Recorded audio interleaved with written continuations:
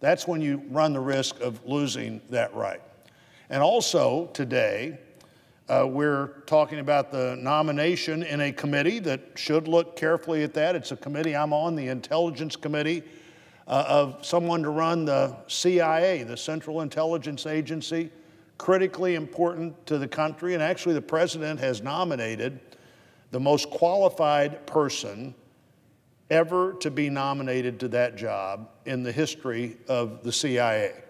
Someone who spent her entire 30 plus year career in the CIA, someone who's had almost every job you could have in the CIA, someone who's been at the front ranks in the most uh, dangerous of countries working for the Central Intelligence Agency, and someone who currently is, serves not just as the acting director, but's been serving as the deputy director.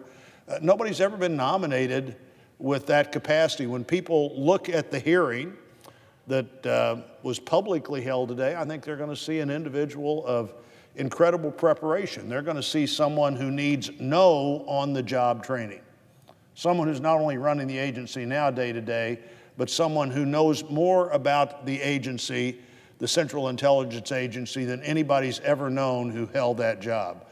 Uh, when we confirm Gina Haspel, and I believe we will, I know we should, when we confirm uh, Gina Haspel, there will be no on the job training necessary. She will run the CIA, the CIA won't run her.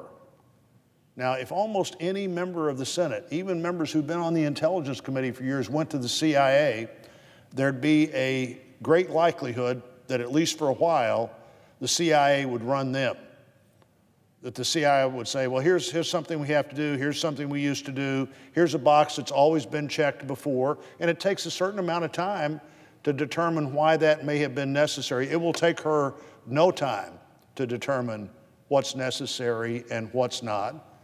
She's nominated by the president that she has been briefing since her boss became the Secretary of State and part of the time while he was the director of the CIA.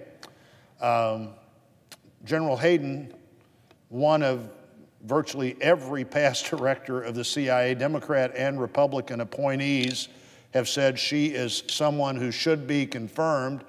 Uh, General Mike Hayden, in a quote that I particularly liked, uh, said that she was the person he would want in the room when the president was making a decision. She'd be the person that you and I would want, I think, to be there understanding the facts.